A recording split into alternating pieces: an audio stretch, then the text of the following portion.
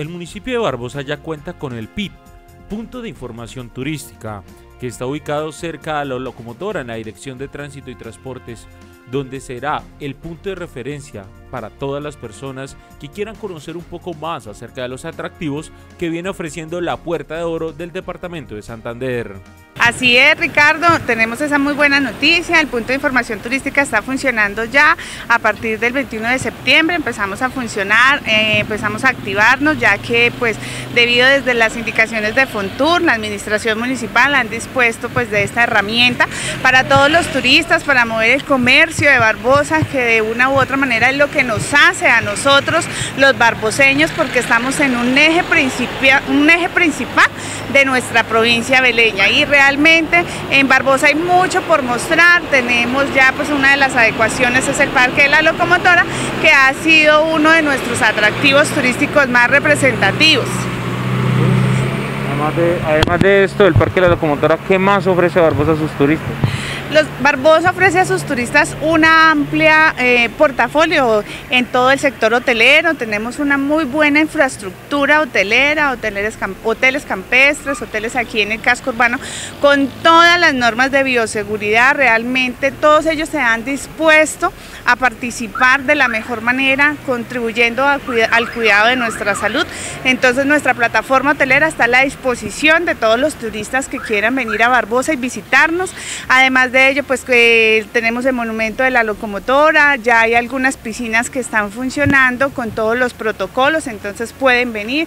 Obviamente ya ellos manejan su, su, agenda para que las personas puedan participar, estamos en semana de receso, entonces ahí ya hoteles donde cuentan con este servicio de piscina, ya también lo hay, tenemos las rutas por el lado de la loma, están adecuadas totalmente muy bien, se han hecho unas mejoras a las vías terciarias de la parte rural desde la administración municipal. Y contamos con esto que para la parte del deporte, las personas que montan su bicicleta, todos los caminos veredales están en muy buenas condiciones.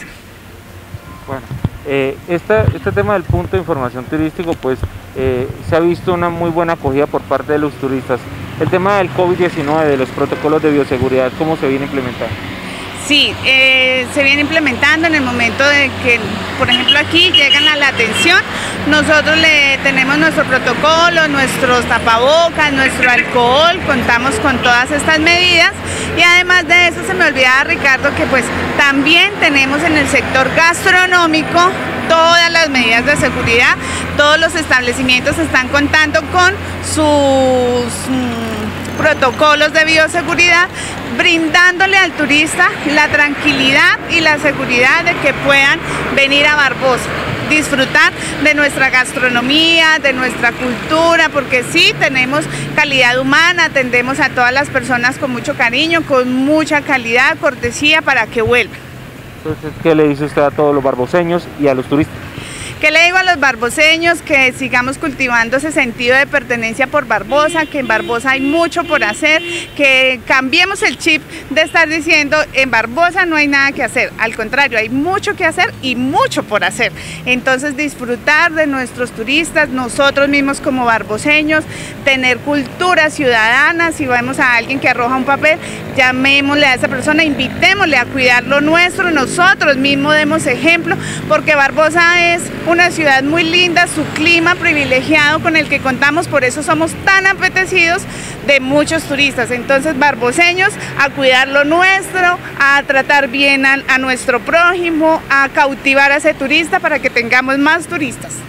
Y a las personas que no son de Barbosa, bienvenidos a Barbosa, el punto de información turística está a su disposición y yo sé que toda la parte hotelera, gastronómica y todos los barboseños los vamos a atender con mucho cariño.